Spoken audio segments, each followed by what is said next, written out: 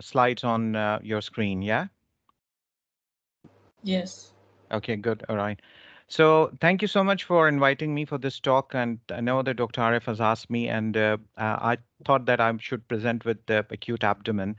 So um, um, what I've tried to done today is that, as you know, uh, basically acute abdomen is a very vast sort of a topic, and it includes a lot of pathologies, um, including uh, you know traumatic injuries and all that. And it will not be possible to cover everything during this uh, talk. So I haven't, uh, I will not be showing you cases from uh, any trauma or subsequent uh, bowel obstruction because we can do it later on. But what I try to do is today's talk is to give you a brief overview of what should be the radiological approach and to share with you some of the common uh, findings, uh, pathologies that we see on a daily basis. And then towards the end, we can take some questions as well. So I start off with the, the next slide, which is the acute abdomen. And I think probably you guys uh, know much better than myself um, what acute abdomen is. It's defined as a sudden onset of severe abdominal pain over a short period of time. And what is important is to have a structured approach to such patients. And uh, in the initial assessment, it is important to determine which uh, group of patients actually uh, belong to the acute uh, uh, surgical emergency, which would require a surgical intervention, or the group of patients who, who require an urgent medical therapy. Um, so the next slide is quite probably familiar to you, to yourself, where uh, it shows the list of the life-threatening sort of cases of acute abdomen and some of the cases which are self-limiting. Um, um, and we all know about these cases. I try tend to, when I look from radiological perspective into the uh, sort of these patients, I think of the the causes which require much more urgent intervention and those can be the ones which present with some sort of a bleeding in the abdomen. Either it is a leaking AAA or you know a perforated DU or ruptured ectopic pregnancy or even trauma because some of these patients might present with hypovolemic shock. And if they're not treated or diagnosed in a timely fashion they can end up with basically uh, you know i mean uh, they can die as well. So that's an important group uh, the second group is the one which who presents with the perforation of a viscus and we can we're going to go through with the causes of that or the third one, which is the ischemic bowel. So uh, a practical approach uh, to the such patients uh, is a uh, very important one is the relevant clinical information. And for this, we rely heavily on uh, the clinical colleagues and the ED physicians. And uh, how it helps us is actually, it helps us to, as radiologists, to narrow down the differential diagnosis uh, of such cases and also helps us to choose the right imaging modality because uh, uh, time is very important in such patients and you don't tend to lose by actually ordering the wrong test or repeating the imaging. Um, so, um, uh, so these two things are very important. Uh, and you know, from your perspective, obviously you you have uh, you know array of lab tests that you do. You can do clinical examination, but we know that they can be sometimes very non-specific. Uh, you know, relying uh, on on on on on the clinical findings, and sometimes we may not even get the answers. You know, I mean, after doing all that bit and imaging, and some you know, very few patients can end up with having an exploratory laparotomy. So what I sort of tend to suggest is that that it's very important that many disorders can present uh, with acute abdomen, but unfortunately only a few of these are very common and clinically important. And if we tend to focus uh, during the triage on these patients, i.e. both examination-wise and uh, putting the investigation, then we can focus on confirming or excluding those frequent disorders, and that might actually help us in getting the right diagnosis. So coming back to the imaging algorithm, sorry about the slide. Um, so uh, we have uh, a series of batteries of uh, imaging tests that is available to us. Uh, the top one is the plain films, and as we know, uh, plain films are sort of used in the detection of, uh, you know, in instances for renal colic, kidney stone detection, or for pneumoperitoneum. They have got a minor role to play in, in imaging of these patients. And some, some of the uh, imaging, which is done via, plain films, can actually be very non-specific, and normal films cannot actually exclude uh, uh, a pathology. And I will share, uh, you know, this uh, in the next slide. Um, the next imaging modality is the ultrasound. and that is uh, basically a non-radiation uh, one. We know it is very good modality to be used in children and young patients. Uh, it comes with its own limitation. If the patient uh, has got uh, basically, um, uh, you know, a large body habitus or obese patient, ultrasound is not good because the penetration of the beam is not very good. So you struggle to see the structures. Uh, if the structures are located in abnormal locations, uh, such as the appendix, etc., you may not be able to see them very clearly. If the abdomen is very gassy, uh, or you have got, let's say, for instance, air in the lumen of appendix and you're looking to exclude appendicitis, you still struggle with that. And we know that there are cases of tip appendicitis where there is just localized inflammatory changes in the tip of the appendix. And sometimes they may have been missed because you have seen the proximal end of the appendix, which looks normal. And for for some reason, you haven't scanned the whole of the appendix. So those are the things to keep in mind, uh, you know, when probably choosing the imaging modality. I'm not going to talk about the FAST scan because you already know that, you know, I mean, that's the focus assessment uh, uh, with sonography and trauma, and you you you guys are already aware of that. Um, uh, moving on to CT, if the ultrasound is inconclusive for whatever reason, some of the reasons I've mentioned you earlier on, then you move on to CT. We have the option of doing CT without contrast in patients with renal impairment, depending on the clinical indication, or we can do CT with contrast. And uh, MRI is all uh, is also there. Uh, this has been probably there for the last, uh, I would say, decade or so, still in the evolving phase, and is very helpful in being for being used in uh, children, uh, pediatric population, and in pregnant patients. And I'm going to sort of further elab elaborate about the MRI later during the talk. the only thing I would say about MR is that that you know, if you intend to request for these uh, uh, sort of the issues is obviously with finding a slot and also patients with acute abdomen maybe uh, sort of uh, require a little bit more time as opposed to CT because you can do a quick scan on CT, whereas on MR, if the patient is heavily breathing or is tachycardic, then the imaging is not going to be very good. So those are the limitations that you have to think. Also, very important is that in pregnant patients during the first trimester, you cannot give IV contrast. So if you are uh, authorizing any scan which requires gadolinium, then that's contraindicated during the first trimester. So those are the things that you need to keep into mind. Obviously, pacemakers and all the other contraindications of MR are still going to be there.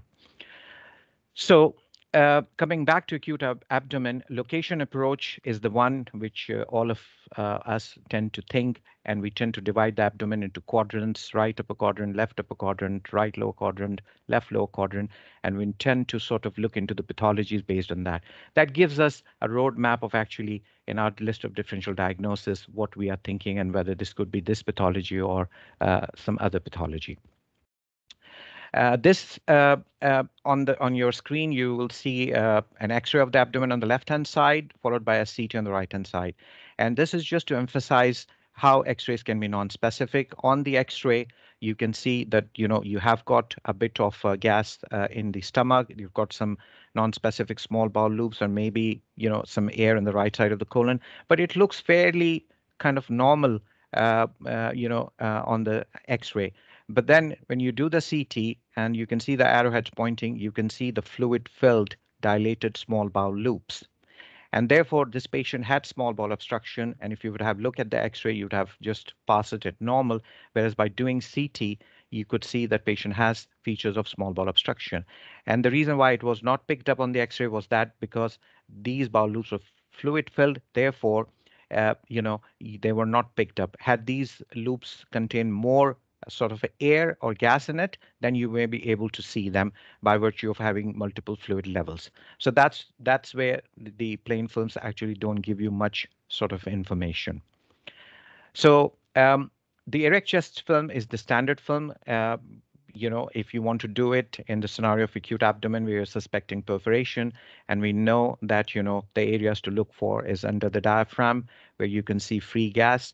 Uh, you have to remember that patients who are lying down, you need to give them time of at least 10 minutes for the air to rise to the highest point, which is under the diaphragm. And with regards to uh, how much of free gas you can detect, uh, well, in the literature, you know, they talk about as little as one ml of uh, free gas can be detected. But then there are lots of variable. And obviously we know that CT is far more superior in detecting uh, tiny blobs of air in the tummy as opposed to uh, erect chest film. The other films that you tend to do in such patients is a supine abdominal film. So I try to make it a little bit more interactive by just throwing this film and uh, see what the audiences think about. Do you think this is a normal abdominal radiograph or do you think it is abnormal? And if it is abnormal, what is the abnormality here? So anyone can just shout uh, before um, I sort of uh, tend to give you the diagnosis. So just need a volunteer. It's an abnormal X-ray with dilated bowels, possibly um, volvulus or obstruction. Okay, okay. so so that's good. So which which part of the bowel do you think? Is it a small bowel or a large bowel? Um, it looks like um, looks like a small bowel. Good. And why do you say it is a small bowel and not large bowel? Because there's no haustrations in it. Yeah, good. That's good. So one of the ways to differentiate is the location of the bowel, whether they are peripherally placed or centrally placed. Centrally placed loops are more likely to be small bowel, and also to look for valvulae conniventes, which are like continuous uh, uh, strip of folds that you can see, in, and, and obviously you know where the haustral pattern in the large bowel is going to be more peripheral. So one thing is that yes, you see the dilated abnormal bowel loops. Any other finding on this X-ray? Any other observation?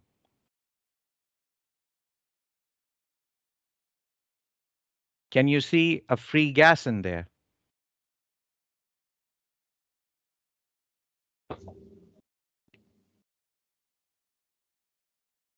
You can identify both sides of the bowel wall, so you'd be suspicious that there was free gas in the abdomen. And so what do you call that?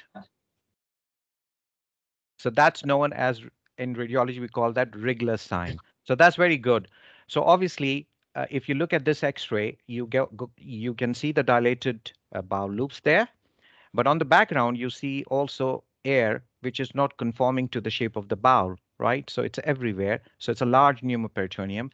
And one of the other signs that you could see here is you could identify the inner as well as the outer wall of the bowel. And that's known as the Rigler sign. So excellent. So that signs tell you, basically gives you an idea that there is a large amount of pneumoperitoneum. So this is the CT image, and obviously you can see fairly large amount of free air, which is just sitting anterior to the liver and to the bowel loops. So here, these are contrast-filled small bowel loops. And uh, uh, uh, remember that with regards to pneumoperitoneum, it doesn't follow the contours of the bowel loops. So the air or the gas tends to fill up the empty spaces and they here you can see that's just filling up the uh, you know space the perihepatic space. And this structure where the arrowhead is is actually the falciform ligament. So it's outlining both sides of the falciform ligament. So those are the things that you need to see on CT, uh, uh, you know, to consider the diagnosis of free gas or pneumoperitoneum. Obviously, you can also see free gas in post-surgical patients. So again, the history is more important, uh, basically, uh, in such scenarios. So now, um, this X-ray, the next one, it just says that it's a lateral decubitus film, and I don't know uh, whether any of you have had any experiences in looking at these X-rays. They used to be done in the uh, pre-CT era, I would say, when CT scans were not available. And these x-rays were taken in patients who were very unwell, sick, who cannot sit up or are able to stand up. And what they normally tend to do is to uh, make them uh, lie down uh, right side up and left side down. And if they have suspected uh, perforation, the air will tend to rise to the highest point between the body wall and the edge of liver. And this is what we used to call the cross table view. So this is a lateral decubitus film. This can be added on to the series uh, uh, of the uh, of the X-rays that we take. So the erect film, the supine, and the lateral decubitus. But these the, this is not being used currently because we have CT scan, which is much more sensitive. So uh, this next one, again, just to show you uh, we are talking about pneumoperitoneum, free air, and uh, can someone, I've got a x-ray of the abdomen on your left-hand side and a corresponding coronal CT image on the right-hand side. And uh, can anyone, again, I need a volunteer here, could identify what the abnormality is on this uh, X-ray.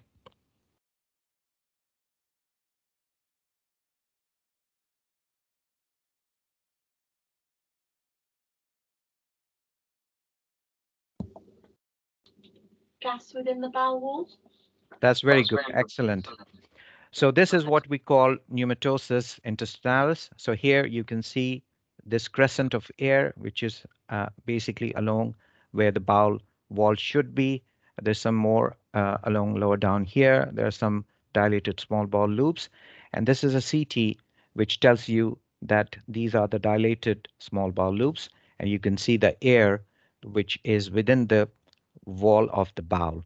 And uh, uh, you know, I mean, you can find a whole list of uh, cases of pneumatosis. Some of them are benign, self-limiting. Others are more kind of acute uh, uh, sort of emergencies. And the two important ones to remember is either uh, ischemic or infarcted gangrenous bowel because of a transmural infarction, or in pediatric age group to consider necrotizing enterocolitis. So those are two main things that you need to remember if you see them. And obviously, once you get, uh, you know, intramural gas, you then have to look for portal venous gas, uh, which is which you can recognize on plain X-rays or also on the CT scan. So this is another pattern where you can find uh, air uh, abnormal uh, collection of air. So one is within the peritoneal cavity, the other one is within the uh, bowel wall, which is the pneumatosis. So that's very good. Moving on to this one, next X-ray. So uh, again, uh, you know, what do you think? Where do you think the abnormality is?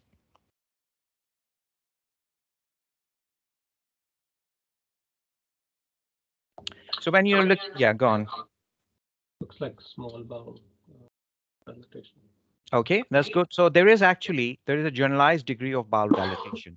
So you can see some of the small bowel loops here, but then you can argue maybe the ones loops which are located maybe periphery on the periphery could be in the large bowel, but there is there is some degree of generalized gaseous distension of the bowel loops, dilated loops. Okay, that's a good observation. Anything else happening here?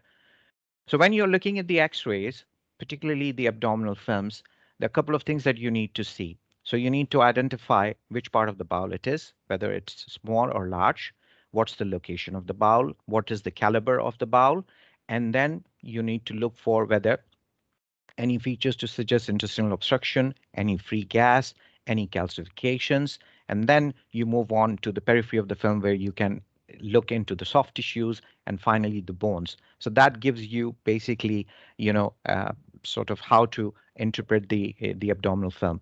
So on this X-ray, as you've said, bowel loops look abnormal, dilated, is there any other thing that you could see? Surgical emphysema on the right side.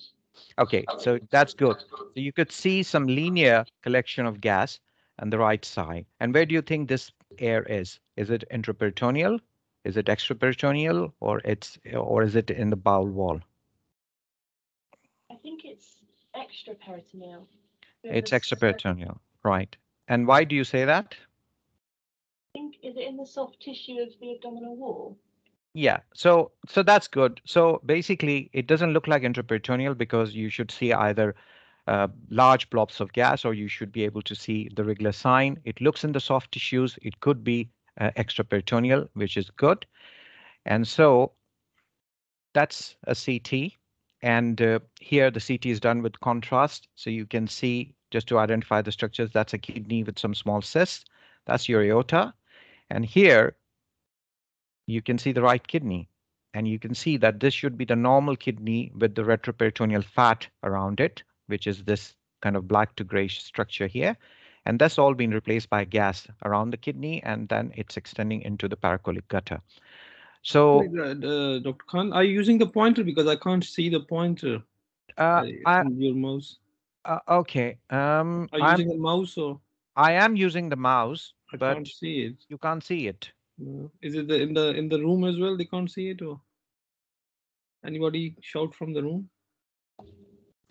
We cannot see the pointer. Oh, you can't see the pointer. Um, I don't know what else can I sort of do because I have got the cursor here, which is which uh, I can hover on the on top of the presentation. Are, so, are you in the slideshow uh, mode?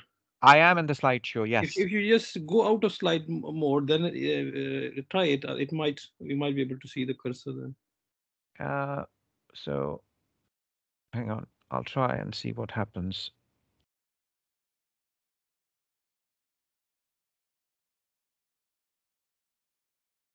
Um,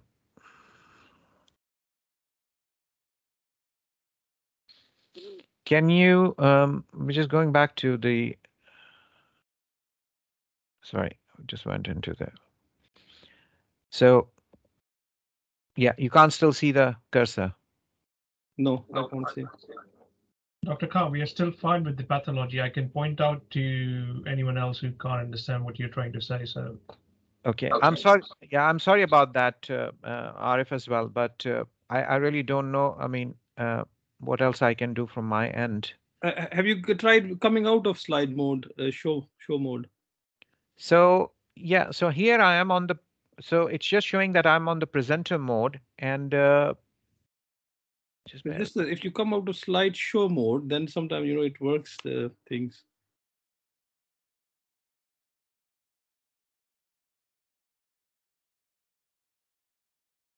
and where where would it say that I am actually because on my view I've got the grid view and then I've got more actions which is say view slides in a higher contrast translate slides I can't see anything. Uh hang on. Laser pointer. Let's try with this one. Let's see if it does anything. Can you see the pointer now? Yes, can you see it now? I very can't. see. clearly, sorry I didn't catch that. Very clearly. Okay, that's great, then. That's great. So that should answer the question. So I'm going to use this one now just to demonstrate it. So this is what I meant that, you know, you've got the left kidney and then you've got the fat, which is the retroperitoneal fat around it. Whereas on the right hand side, this is all uh, along the right kidney. This all been replaced by this black area, which is the retroperitoneal air. Okay, and then you can see this extending into the root of the small bowel mesentery as well. This is the pancreas there and then you see further free air more anteriorly. So the idea of showing this one and the on the previous slide, uh, which is this one here, is to demonstrate you the extraperitoneal uh, or the retroperitoneal air, which is the third column where the air can actually sit in because of various pathology. In this patient, patient had uh, ERCP and he had a perforation of the duodenum, and that actually led to the retro uh, pneumoretroperitoneum. So that's the third compartment where you can actually get the air. And so this is important to recognize these pathologies on plain x-rays if you are intending to do them in ED or otherwise CT can actually show you them. So now we move on to uh, following our discussion. I just wanted to share some of the basics in the uh, sort of uh, the imaging uh, of the plain x-rays. We're not going to follow the quadrant uh, sort of um, um, method where we are going to just discuss some of the commonly seen pathologies in the right upper and lower quadrant. So this patient presented with right upper quadrant pain, and there was a clinical suspicion of uh, cholecystitis. And what you can see in the lower bottom X uh, sort of ultrasound image here is you can see the gallbladder. A gallbladder is thick walled here, and you can see multiple stones, which are like pinhead size uh, echogenic foci. You see some distal uh, shadowing, which is typical uh, with stones or any calcified object. Uh, and so this is a classic appearance of uh, calculous cholecystitis. Um, uh, and this should be enough to give you a diagnosis. Sometimes we do do CT to look for complications, and that's the CT. Again, you know, I mean, you may not be able to see the stones if they're not very calcified ones, but the features you see is basically a thick walled enhancing gallbladder. You see pericholecystic fluid and stranding around it. And that's the basically uh, presentation of cholecystitis on the CT. Um, the other conditions which can present with right upper quadrant pain, uh, i.e. the biliary colic, and uh, uh, again, I would just go back to this slide. And uh, although uh, we may be able to see uh, common bile duct stones, but the uh, visualization of the distal CBD, which is in the head of the pancreas, can sometimes be obscured by bowel gases. And imagine that these patients who haven't actually been not been eating, uh, they tend to have more air in the stomach and the rest of the small bowel. So sometimes we we can easily miss uh, sort of stones in the distal CBD. And therefore, the modality of choice is either you do a CT, and again, it will depend how dense uh, or how much of calcium is within the stones to make them visible on CT. But MRCP is basically the, the standard. So these are coronal MIP images. They are heavily T2 weighted images, which means that they will brighten wherever the fluid is and suppress the rest of the organs and soft tissue. So you can see a distended gallbladder. There's a filling defect in the uh, fundus of gallbladder, which is a stone. The intrahepatic bile ducts are dilated. This is the CBD, which is dilated, and you can see two uh, uh, low signal intensity filling defects compatible with stones in the common bile duct. And here on the axial images, you can see the filling defect within the common bile duct, and that confirms basically the presence of stone in this in the CBD. So biliary colic is again, you know, where you can't actually give an answer with uh, uh, ultrasound and you suspect uh, basically a stone in the CBD, raised uh, uh, bilirubin levels and all that. You can consider MRCP and it gives us quite good actually sort of uh, information and diagnosis from that perspective. Pyelonephritis is again one of the other conditions that patient can present with right or left upper quadrant pain. And often, as you know, in young patients, you know, we tend to ask for ultrasound and uh, it should be the first modality and what you expect to see in these patients apart from clinical examination, your positive renal punch and, you know, uh, lab uh, uh test. Uh, this is a scan, longitudinal scan of the kidney. And here it shows an area of uh, echogenic, which means that it is much more brighter than the rest of the cortex. The cortex is normally, uh, renal cortex is of uh, what we call hypoechoic or rather black in texture. And the medulla is more echogenic. But if you look at this here, you can see a fair sort of a discrete area of abnormal echogenicity near the upper pole. And when we put the Doppler signals here, you see there is vascularity in the rest of the kidney, but rather the upper pole, which looks slightly bulkier, is avascular. And that's the typical spectrum of finding in patients with pyelonephritis.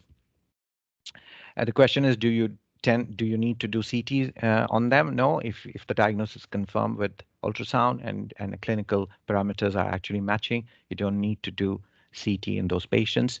Um, and this next slide again, uh, I would like to sort of uh, uh, need the audience opinion on here. So this is a patient who presented with right upper quadrant pain and some sort of dipstick hematuria. And so ended up with having a CT. And do you see any abnormality there?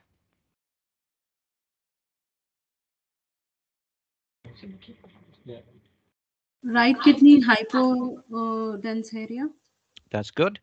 So here in the right kidney, you can see uh, sort of a large, sort of round uh, hypo uh, uh, dense or low density area. And uh, if you look uh, at the perinephric fascia there, that's thickened. There's a bit of faint stranding in the perinephric fat as well. And those are the things that go along with pyelonephritis. So, you know, I mean, with the pyelonephritis, it could be focal, it could be diffuse, and the imaging appearances would vary upon the presentation. And with the focal pyelonephritis, you tend to see an area within the renal parenchyma which doesn't show vascularity, which which corresponds to what I've shown on ultrasound on the Doppler signals. So the vascularity is less because that's more sort of infected and edematous area, and you see the changes extending into the perinephric fat. So now what I need to know from the audience is actually I've got two more cases at the bottom and there is obviously some abnormality in the right kidney. And here, there's an abnormality in the left kidney. So uh, I just need some opinion. What do you think about these two cases? Do you think this is pyelonephritis, or do you think there's just some other abnormality or pathology going on?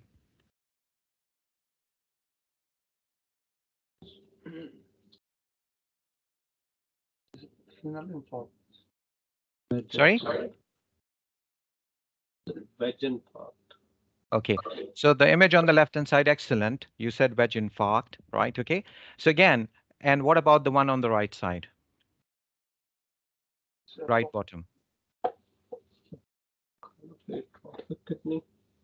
Sorry, can you just speak a bit loud?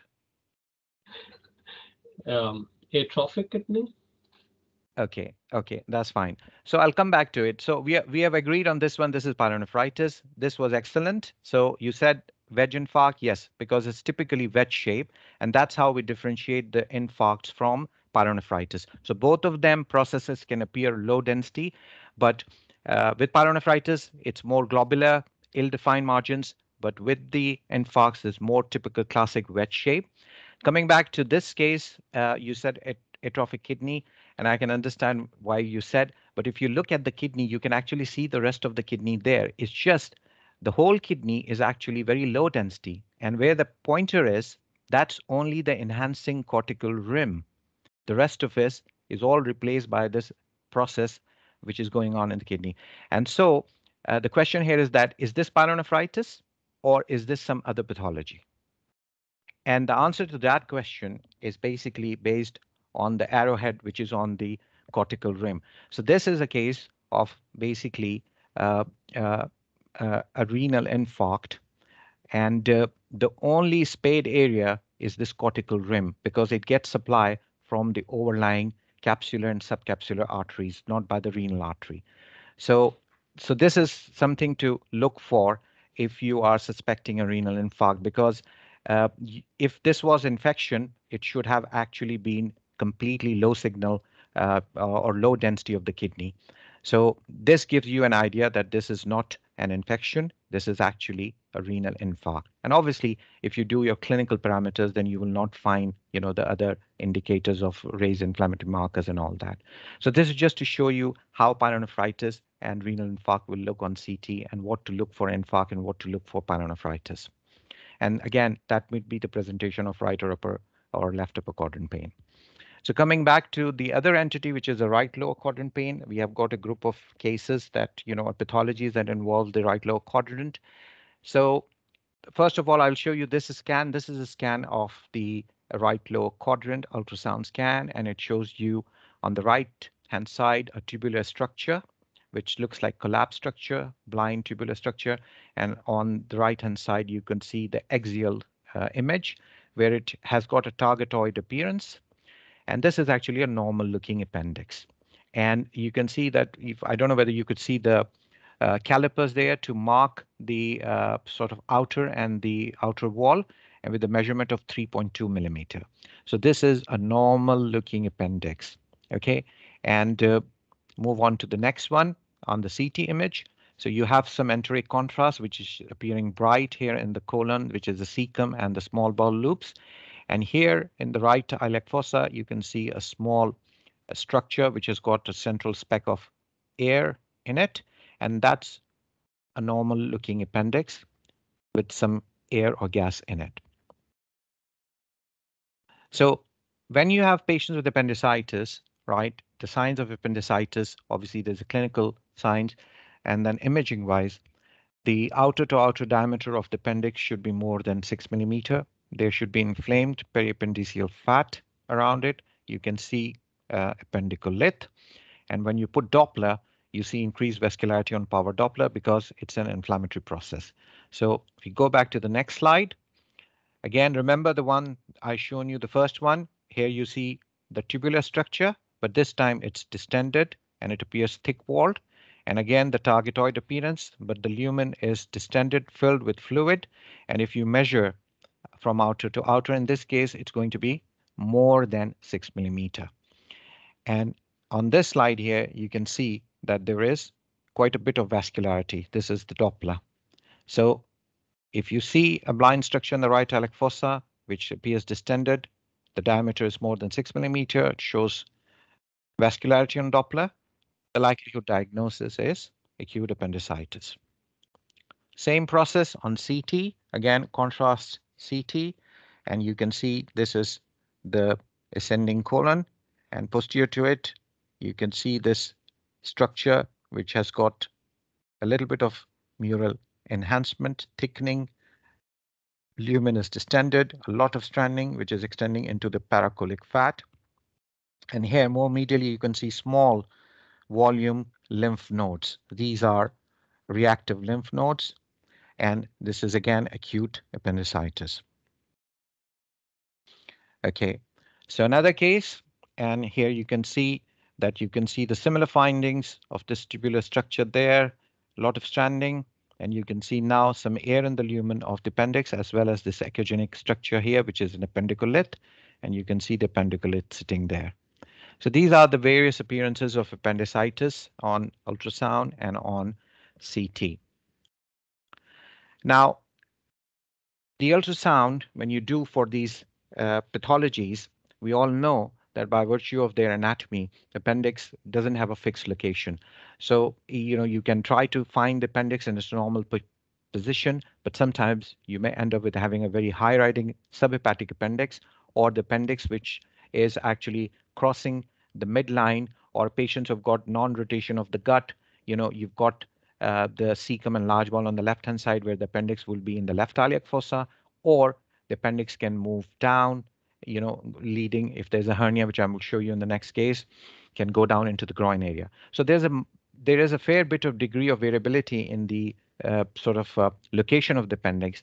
And again, if you are doing an ultrasound, it is basically if you can't find the appendix in its normal position, right, uh, you would struggle because you you are going to miss the diagnosis because you haven't tried to look for the appendix in the location it is actually abnormally placed. So coming back to this one, this patient actually ended up with having an appendix which is sitting right under the right lobe of diaphragm, which we call the subhepatic location of the appendix, very high up. And that's the, uh, you can see the dilated uh, sort of thick wall appendix there and with all the features of appendicitis. So again, you know, I mean, think about the abnormal location and therefore the right upper quadrant pain can be due to cholecystitis, but you know, if it is a high riding appendix can also present in a similar fashion. This is again an abnormal location. So here the cecum is in the midline. The cecum should be normally in the right iliac fossa, which should be here, but you can see the cecum is lying in the midline, and that's the inflamed appendix.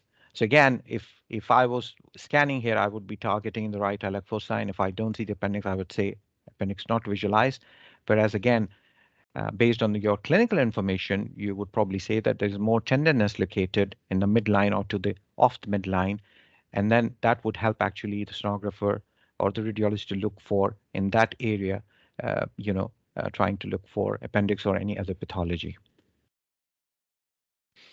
So this is an entity which has been described in the uh, literature, and uh, this basically is a kind of a hernia, which is the hernia in the groin, which actually, as it drags down the abdominal contents, it takes the appendix with it.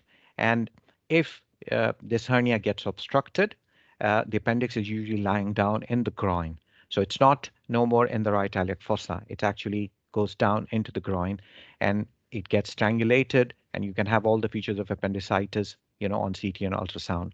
So those are the variations that to consider and to look for. So how about the post-surgical patients? So you've had patients who have had uh, kind of, uh, you know, in ED come across that patients are coming with right iliac fossa pain and you talk to the patient and they say, oh, I've had appendicectomy done years and years back. And then, you know, you're probably left with to think about other differential diagnosis that's what's going on.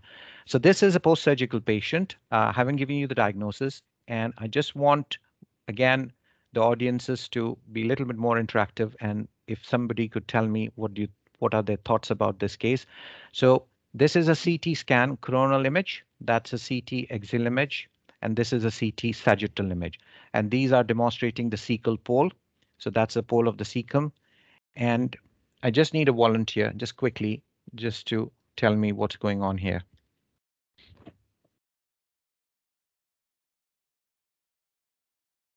Is it fecolith? Okay, good.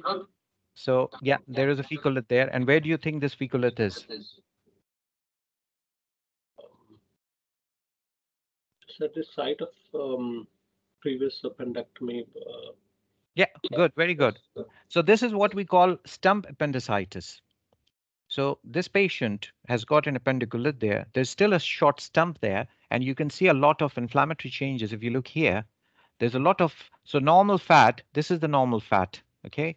This is the normal fat in the right iliac fossa. And look around this appendicolith, the fat is dirty. There's a lot of stranding going on there. Again, here, there's a thickening of the cecal pole.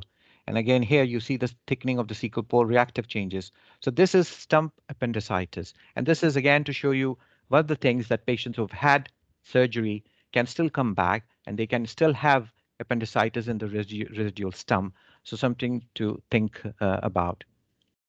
Okay, so quickly I will go through with this one. Again, a patient post sort of uh, surgical uh, who had a perforated appendix and then they took the appendix out and later on presented with abscess. So you can see a large collection there, which is uh, basically uh, sort of in the pelvis, and that is on the CT.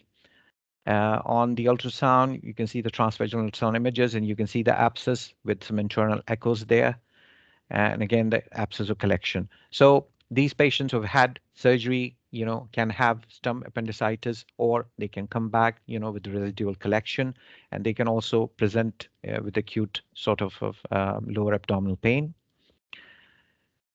And this is again, again the same sequela of uh, following up the appendix. You know, patient who had some surgery for perforated appendix, and then had an ultrasound scan which showed distended uh, small bowel loops, and this patient had subacute small bowel obstruction because of adhesions. And this slide on this side actually demonstrates that this patient has got a port hernia.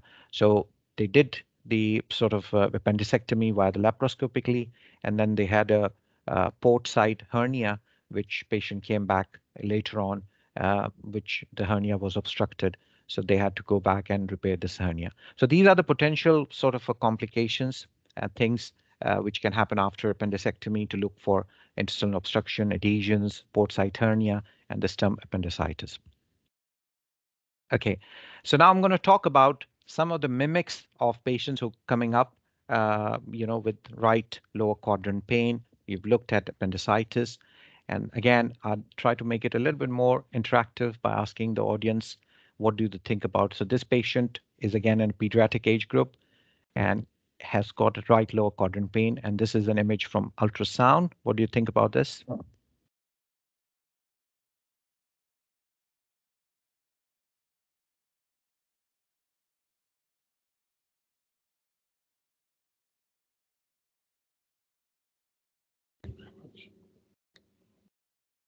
Yeah, just the bowel loops, which is dilated. Um, um, Okay. you're, uh, I mean, you won't have air, sorry, fluid filled, sorry. That's Okay. what you could get in ultrasound. Do, do, do you think, does it look like a bowel loop? I know it's very, it's, it's sometimes difficult actually to sort of comment on this one, but does this look like a bowel loop? If you look at it, these are like discrete hypoechoic areas. I mean, with the bowel loops, you need to have a little bit of continuity. Would you agree to that? They look like there are like nodules, one there, another one there, third one there, fourth one there. So if I have to tell you that this is, Is yeah, that's good. Yes. So these are actually enlarged lymph nodes. Okay. So uh, remember that the bowel loop, let me show you the previous slide so you have a little bit of understanding. If you look at this image, the bowel loop will have a continuation. Okay. Look at this one. It's a continuous loop. It's a continuous loop on the longitudinal scan. Whereas if you scan them on a transverse, it might look like something that you have seen. But here, if you go back, these are small uh, kind of volume lymph nodes. So mesenteric adenitis is one of the conditions which affect children and kind of more teenager group. And it's basically, uh, you know, post-viral or could be other causes. There's a lot of inflammation in the lymph nodes. And these lymph nodes, uh, the, the criteria, the sonographic criteria for adenitis is that you should see at least cluster of three or more lymph nodes and the short axis diameter, which is that you measure from here to here. This is the short axis diameter of the lymph node. So what we say is that this one is a long axis, but the short axis is this one. So the short axis diameter of the lymph node, it should basically uh, sort of be more than six millimeter. And so one thing is the cluster of lymph nodes. The second thing is that you should have short axis diameter of those lymph nodes more than six millimeter. And the third thing is that you should see a normal appendix. And why is it important to see a normal appendix? I'll come back to this slide. Because the reason for that is that that if you have seen a normal appendix, you have excluded the diagnosis of acute appendicitis, right? Because sometimes if the patient has appendicitis, you can still get reactive lymph nodes. So you don't want to miss an appendicitis in the background setting by looking just at the lymph nodes and then just labeling them as this is mesenteric adenitis. So if you see the appendix, it gives you confidence of the diagnosis, and then you can safely exclude acute appendicitis. And this is actually a CT which shows you the cluster of lymph nodes which are there in the right paracolic gutter. And, and sometimes there might be some thickening in the ileocecal region as well, which can be seen with patients with mesenteric adenitis. So mesenteric adenitis, as we know, can present also with right lower quadrant pain and should be one of the differential, uh, you know, in, in, in, in, the, in that pediatric or teenage group with appendicitis. Okay, so what about this one now? So again, this is a CT scan, and again, you see that in front of the cecum. So this is the cecum because you know there, there, the, you know the, if you look at the configuration of the bowel, it's different than this one or this one. These are small bowel loops.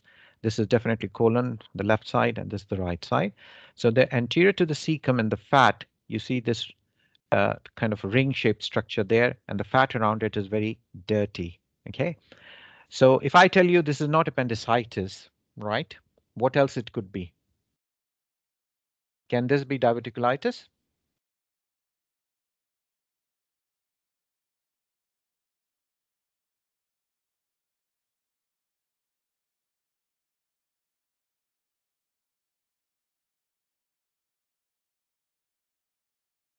No idea. Okay, okay. right.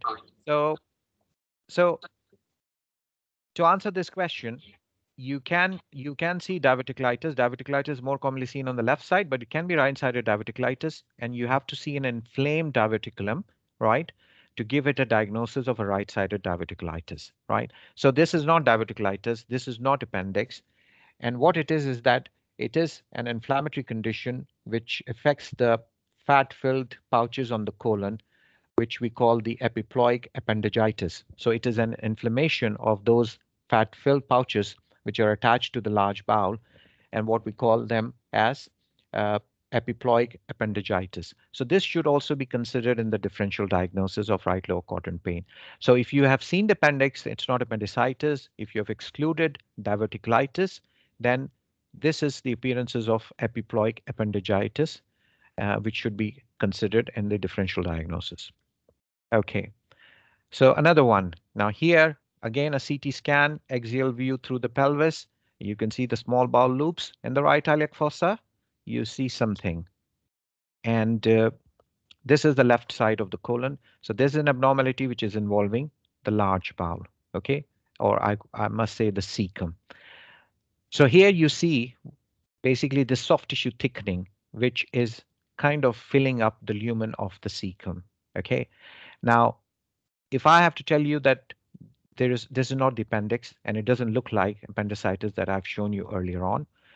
It's not diverticulitis. It's not the uh, epiploic appendagitis. What other condition can you think of the bowel which involves the which can involve basically the large bowel or the cecum or any part of the large bowel where you have got basically considerable thickening of the bowel wall.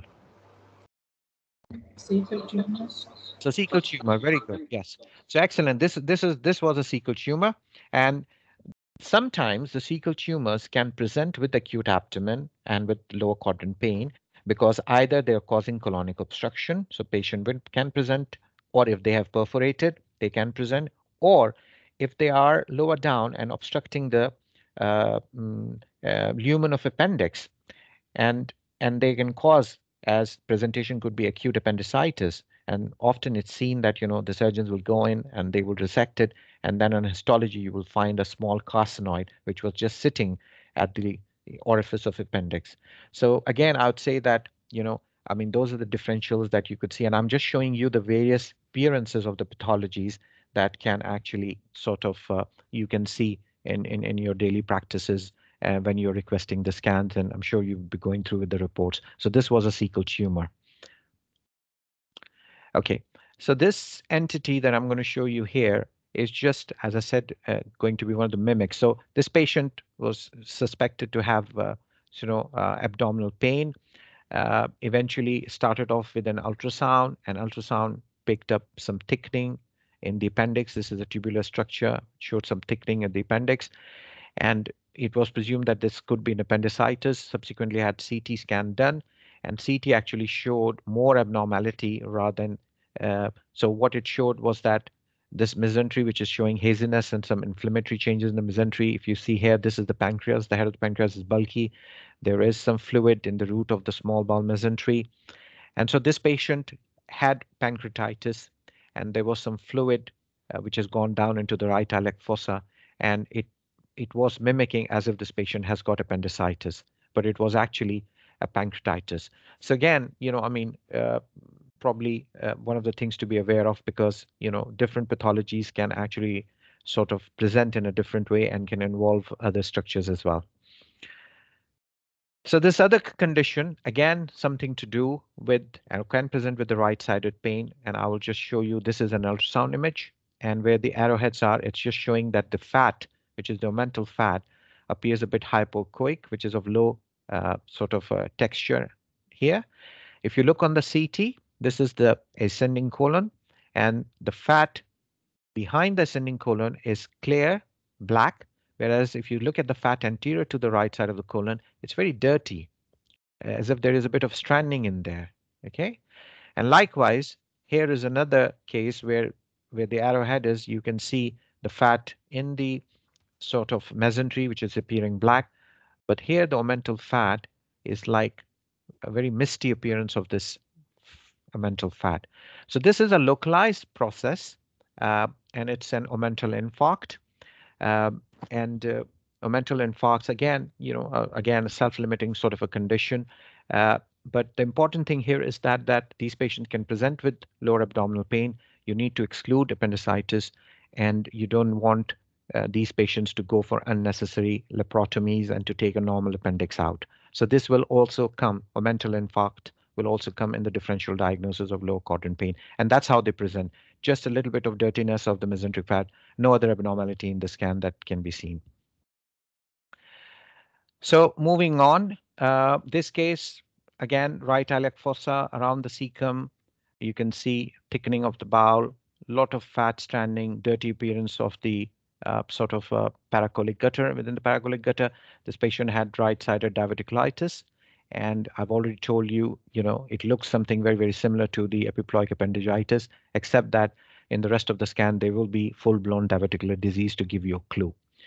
This patient uh, on the right-hand side, you can see targetoid appearance of a bowel here, very thick and very low sort of, uh, of echogenicity in ultrasound. Again, it looks more tubular on this longitudinal slide. When you do a CT, you see involvement of the ileocecal valve and the terminal ileum there. This is contrast in the cecum. And this patient has actually had inflammatory bowel disease, so IBD Crohn's disease. And Crohn's patients with Crohn's can also present with right-sided lower abdominal pain, can mimic appendicitis, or, you know, I mean, uh, sort of if they have collections or if they have a stricture and perforation or fistulae, the presentation can be similar to appendicitis uh, uh, obviously if they've not been diagnosed previously. So that's also to think uh, something to think about. This next slide, again on the left-hand side, it's uh, the ultrasound. And if you can see, it's been labeled there as a uterus. And just to the right of the uterus, you can see a large ovary, which looks very heterogeneous. And we did the CT here this patient and you can see the uterus again the margins are very very ill defined there is some fluid in the cul-de-sac between the uterus and the rectum which is uh, this bit around here where the cursor is and you can see the enlarged ovary on the uh, the left pelvic side wall and these patients with PID, pelvic inflammatory disease, can also come with lower abdominal pain. Sometimes the pain can be very excruciating. And you do the imaging and you find these findings Obviously, you need to exclude other causes, uh, other pathologies when you do the ultrasound or CT, but this is a typical appearance of what you would expect to see in PID. And this case here, uh, the plain CT patient presented with hematuria, right renal pain, and this is a stone which is in the right mid ureter where the arrowhead is. And uh, you did the ultrasound. Ultrasound showed this is the kidney. There is hydronephrosis in the kidney. This is the dilated ureter, and that was the stone that was seen in the lower ureter. So that's a stone. You can see it appears very echogenic, and there's shadowing distal to it. So this patient had a stone which was causing obstructive uropathy and hence leading to sort of pain uh, on the right side. So uh, moving on from there, uh, this patient, this is an ultrasound uh, of the uh, anterior abdominal wall. This is a normal looking rectus muscle on the left hand side, whereas on the right hand side, you see this fairly discrete area there in the right rectus abdominis muscle. This patient was on anticoagulants and had a sort of an injury or fall.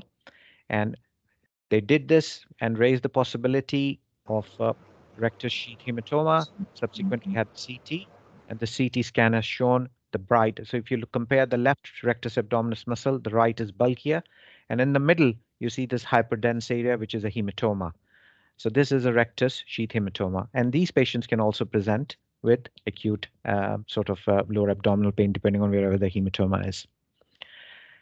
So then um, one of the other entities which you can sort of encounter and you can kind of clinically examine these patients. This is a CT scan of the lower pelvis, approximately going through, uh, and it shows a very large hernia in the left groin. You can see the bowel loop. This loop has got a U-shaped configuration. It's all thickened.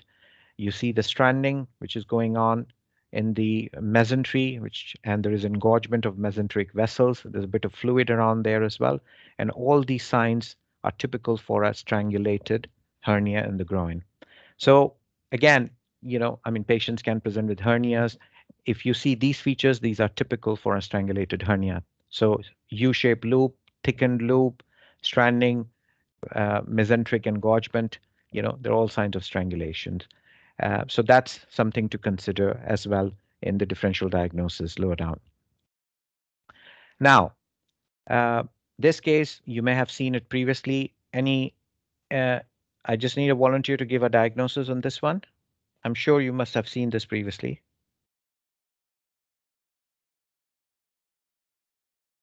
So just to give you an idea, this is an axial slice uh, taken to the level of lower pole of right kidney. Patient is presented with acute abdomen.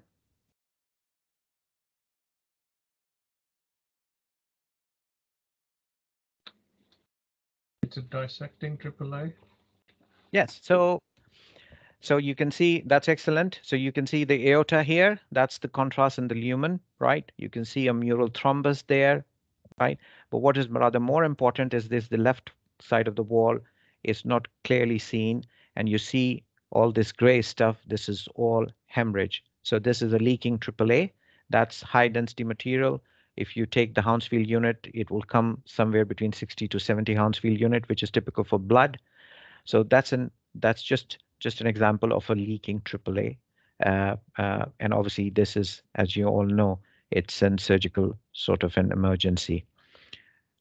So next one, I think probably this is going to be the last couple of slices. And uh, like I said to you earlier on, I can't show you everything in this session, but the idea is just to show you maximum sort of pathology, so give you an idea of how they appear on imaging. And this patient presented with uh, uh, increased uh, lactase, lactate levels, and uh, acute sort of a presentation, tummy ache, abdominal distension, and a CT was requested. And what you see on this is the small bowel loops, uh, which are dilated. There is some fluid in the mesentery. There's not a great deal of enhancement of the bowel wall there, but this structure with the arrowhead is, is this is the superior mesenteric vein. That's the superior mesenteric artery there. This is the portal vein. And remember that vascular structures, when you give contrast, should enhance, like the SMA here should be enhancing, whereas this structure here, it's completely non-enhancing. And that was a very large thrombus sitting in the superior mesenteric vein with some thrombus in the portal vein as well. So this was a case of mesenteric uh, uh, sort of ischemia secondary to SMV thrombosis. So in summary, I'm going to end it here uh, by saying that imaging is actually widely applied in patients with acute abdomen. Relevant clinical information and imaging should is very important and it normally tends to increase the diagnostic accuracy and influence the patient management. The idea should be actually an approach should be to minimize radiation dose by you know triaging the patient in such a way that you are using the right imaging modality whereas in young patients tend to use more ultrasound uh, or maybe MRI if possible and if not then to go for CT use a location based approach with ultrasound uh, in the right upper quadrant pain for to rule out cholecystitis or biliary or a combination of ultrasound or CT in the rest of the quadrants um, and uh, uh, consider using MRI you know in pediatric patients in pregnant patients and can be used as a problem solving tool. And with that, thank you so much. If there are any questions, I'll be more than happy to take them.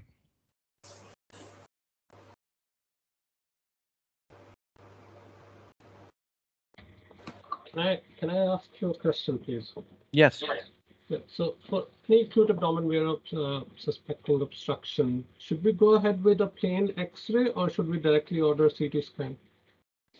Okay, so Oh, when you when you talk about the obstruction, you're talking about intestinal obstruction. Yep. Okay, so like I'd shown you the case, um, the, the, the the I think probably the fifth slide on the screen where I showed you an X-ray and then on a CT. Again, I told you that X-rays are basically non-specific. They can be non-specific, not all the time, right? So you do the X-ray and you may be able to see the findings. You do the X-ray sometimes and you may not be able to see the finding. The other thing is also to answer your question is that if you do an X-ray and if you see a dilated loop, right, you're probably going to refer them to surgeons and then the surgeons are going to ask for a CT. So my approach to that would be that if you are suspecting intestinal obstruction based on clinical grounds, right, then your best bet would is going to be CT because you're going to save time. You can tend to see the diagnosis, and it also helps the surgeon. Uh, it gives them a roadmap to decide where what is uh, what's the cause of obstruction, where the obstruction is. It will help them to plan their approach. So my answer to that would be go for CT. Thank you. You're welcome. Any other questions?